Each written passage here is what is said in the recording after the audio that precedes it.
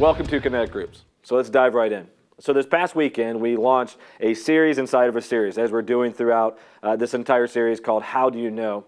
And we started talking about finances, but as we introduced this series, what we discovered is whenever we talk about finances or look at finances in Scripture, what we're really dealing with is the issue of our heart, because finances are always a heart issue. And so I want to read the passage that I taught from this past weekend and then do a quick recap and then just kind of bring home one thought that I want us to think about, meditate on, and then in your groups, you're going to discuss this past weekend's message. And so, what we looked at is this passage of Scripture. Jesus said this Do not lay up for yourselves treasures on earth where moth and rust destroy and where thieves break in and steal. But lay up for yourselves treasures in heaven where neither moth nor rust destroys and where thieves do not break in and steal. For where your treasure is, there your heart will be also.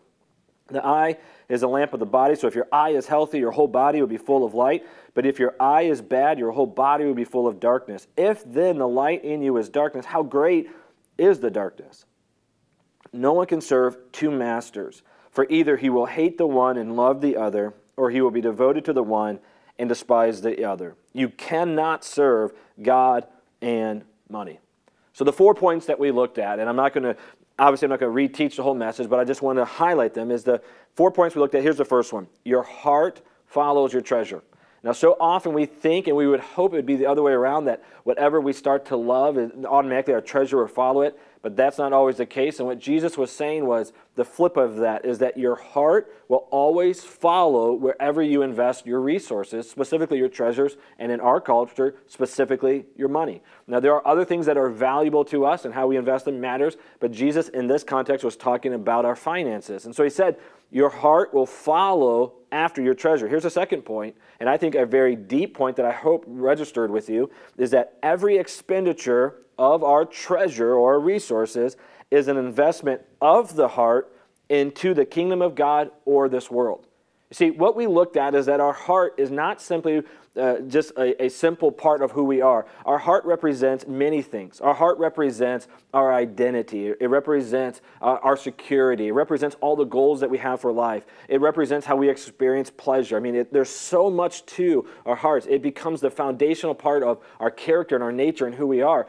And Jesus says every time we spend, so we have an expenditure of our resources, specifically our money, we're investing our heart into either the earth or into the kingdom of God, into heaven.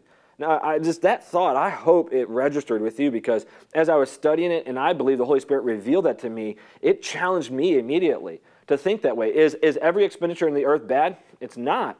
But when we continually put the earth as our priority, the, the ways of our culture, the kingdom of this earth, what we're doing is investing all of our hopes and dreams and our, our who we are, our security, our identity, we're investing it into something that is one, temporary, and two, unable to withstand the storms of life. And so Jesus challenged us. So, first point was our hearts follow treasure. Then we looked at that every expenditure was invested either in this world or in heaven. And then we looked at what we focus on will determine the health of our life. So if we are focused on the earth, then our lives are going to reflect that. But if we focus on heaven and the kingdom of God, our lives are going to reflect it, and it's going to determine whether or not we're healthy. And then lastly, the last point we looked at is you will be a servant. All of us are going to serve someone. I mean, there's a famous Bob Dylan song that says that. Everybody's going to serve someone. But what we looked at is what Jesus said. We're either going to serve God or we're going to serve money. And as we looked at really the idea of mammon. Now, why is this important?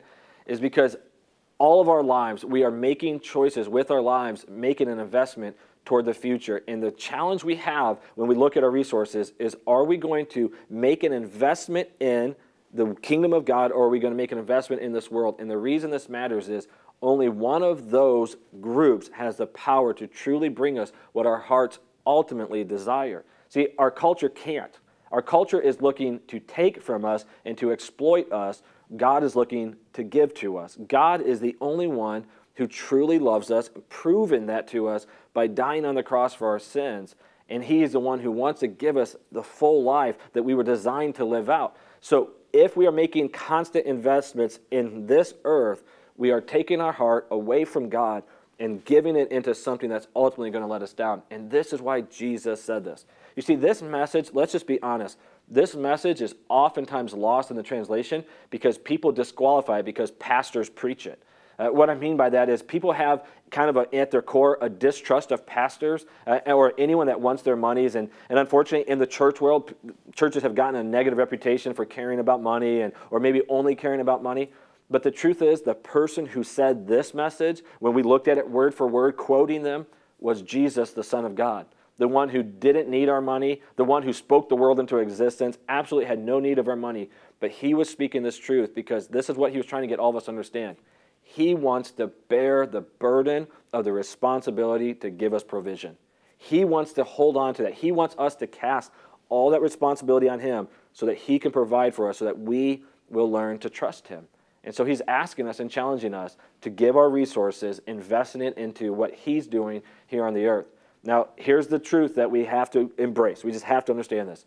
There is no way, zero way, to fully give your heart to Jesus without giving your resources.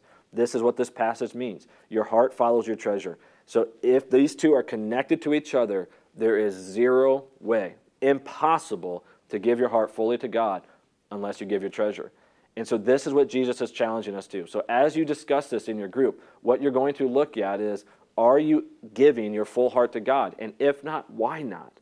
And I pray that through the encouragement of your group, the challenge of each other, that as a church we will step out in faith to embrace this. What I would say is eh, difficult to live out in our culture, but one of the most powerful and profound truths that if we live it out, we will discover a deeper relation of God than we could ever imagine. I love you, proud of you, and praying for you. See you at one of our weekend services.